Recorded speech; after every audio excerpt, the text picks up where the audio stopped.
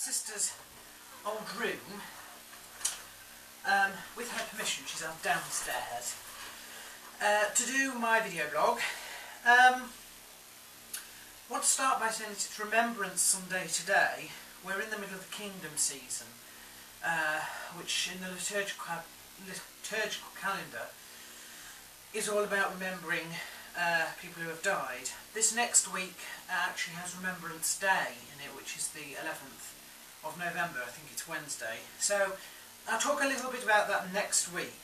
Um, this past week, uh, of course, was the start of November, and for um, people in England, that's quite important because it has what's called fireworks night, bonfire night, on um, the 5th of November, which dates back uh, to somewhere, I think, before the Civil War. Uh, might even have been involving the same monarch, I, I don't know.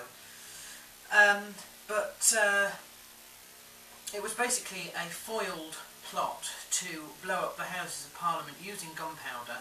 Um, the guy got as far as laying the, the gunpowder underneath the um, in the undercroft underneath Parliament, but he was stopped before he was able to actually light it. So we celebrate that with bonfires and fireworks and stuff like that. So uh, I had a bit of a clip of the um, fireworks night that we went to see on the Stray a couple of days later. Well, I'll show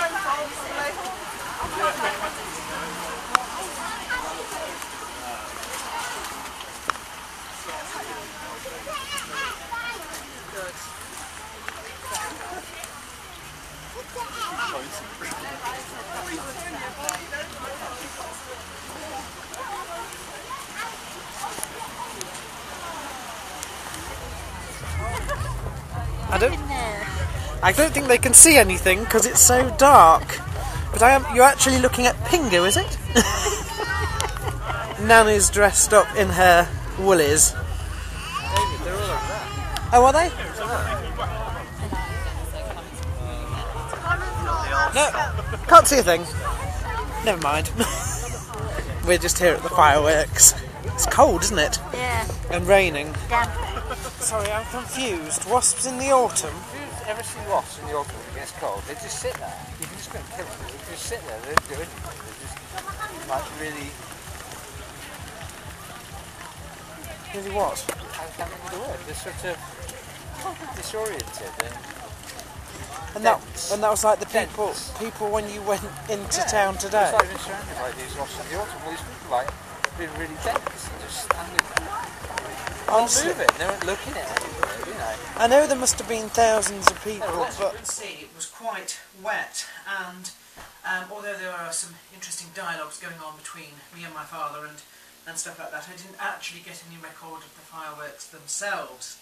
Um, up for that visit uh, was my nan, um, who took the opportunity when she came round to visit me to look at my new walls. Right, so this is my nan. She has returned again.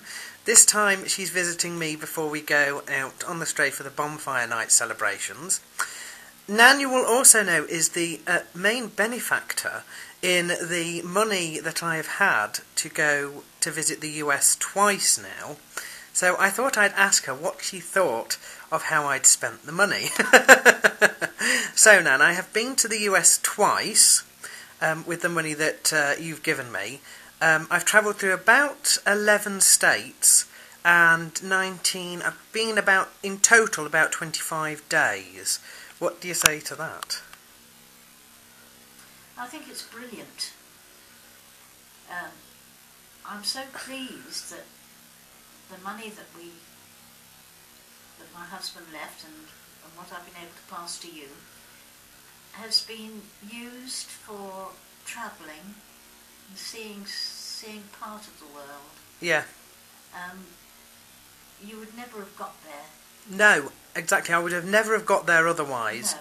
And a lot of it's inheritance money, isn't it? Yes. So I mean, you know, I've, I've given you. I've given you what I did. I, I, I decided that instead of leaving it to you when I'm I'm dead and gone, um, I would give it to you now, Mm. so I could see what, what we were going to do with it, yeah. And I'm absolutely delighted. Well, that's it because America. because you said to me, you know, make sure you spend it on something that you're going to enjoy. That it's not going to just become part of the. Do you know what I mean? Yeah, The- no, just sort of frittering Yes, it away. frittering it away. Yeah, yeah, yeah. Yeah, I mean, you, you've got the memories of all the people you've met there. Oh, that's right. the Yes. memories of all, all that you've seen Uh huh. and and all that you've done. Uh, um, you know, it, it's you'll never forget it. I, and I hope it'll continue. Well, I just thought I'd say thank you um, by doing this little thank you video. Um, because, like I've said to people online, you know, I couldn't have done it on my own. Um, I just do not have the income to do it. Um, and it has it's really been a major, major highlight over the last two years. Not only that, it's actually helped because, of course, I know now a lot of people in the US as well. So it's done a world of good in, you know, sort of connecting me with other people and stuff like that.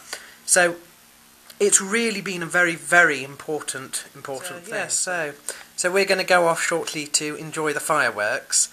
Um, and uh, and yes, I think that's it. And I just thought I'd show you my nan again, since she went down such a treat last time. She got a lot of views, so here she is again. Well, it's very nice to meet you, even if it's only on camera.